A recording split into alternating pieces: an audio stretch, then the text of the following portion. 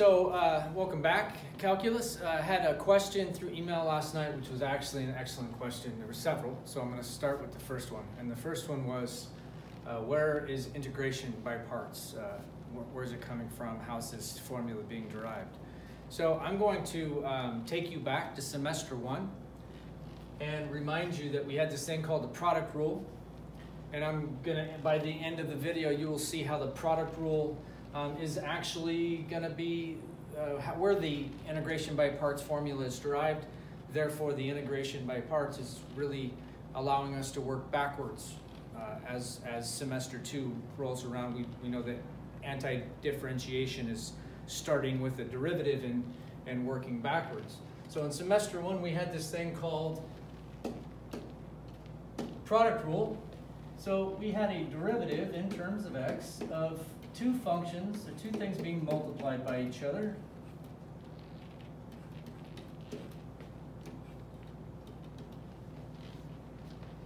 I'm going to double check to make sure that's in the video, and it is. Okay, excellent.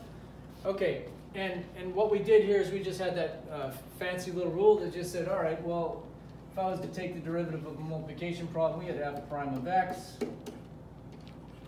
g of x plus f of x g prime of x. And we had this product rule. We've, we've already done that. We've spent months on this information.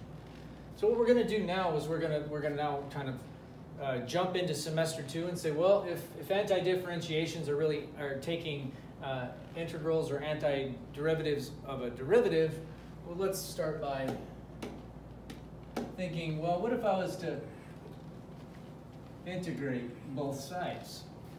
Well, in essence, we would know that an antiderivative and a derivative are going to cancel each other. So in this particular side here on the left, we're going to end up with f of x and g of x. Technically cancel each other.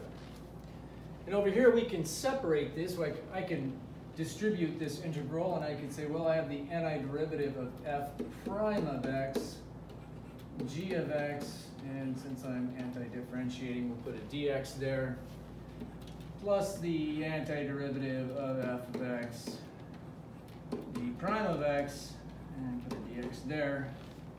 And we'll just apply an algebra step here. Let's just say that we wanted to solve for that. I want to solve for that. I'm going to move this entire thing over through subtraction just using that algebra rule. So let's subtract this over, and what would we get? f of x, g of x, minus the antiderivative of this.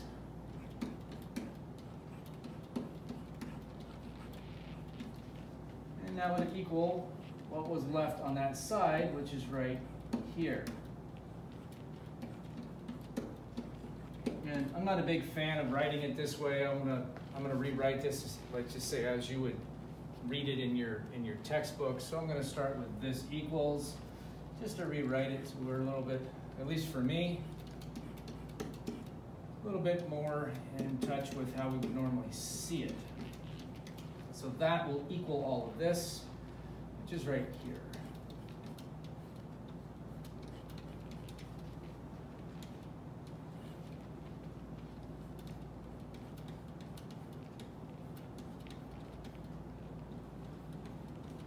Again, let's keep our thinking in turn in, in tune with um, second semester stuff. We start we started to call things U's and V's and DU's and DV's. So let's let's go back to this original problem right here and say, well, I had two things that were being multiplied. What if I would have just identified it as U times V, because that's kind of how we're starting to see our formulas. Well, down here, where would I be able to put a u? Let's find my f of x's and say, well, there's a there's a u, there's a u, and that's the last one. And let's find our g of x's and throw in a v. There's a v. There's a v. That's not a very good squiggly line. And let's say, well, if g prime of x, that would that would be the derivative of v, well that would be dv, and f prime should have been the derivative of f, which, better squiggly, which is du. So if I rewrote this in terms of how we've seen it, we have u dv is now equal to u times v minus the antiderivative, and I'll rewrite this in a little different order, v du. So that's what we've had in the last video. This was, this was called integration by parts, and again, you can survive without knowing how to work this backwards, but at least now you know the foundation, and I've answered the question. So good question, and uh, now when we're starting with this formula, we're at least consciously saying to ourselves, hey, um, I have a derivative, it happens to be in this mode, I have something times something, and when I work it back out, I'm, I'm in essence re reversing the process of uh, product rule.